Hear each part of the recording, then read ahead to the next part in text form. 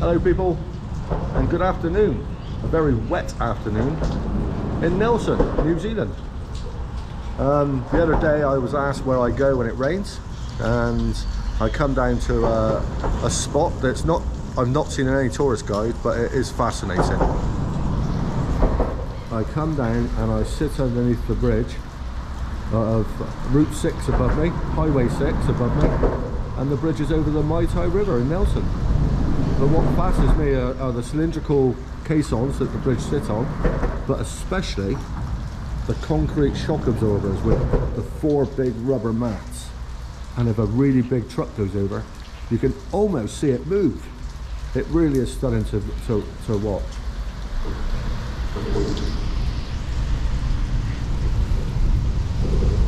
Yeah.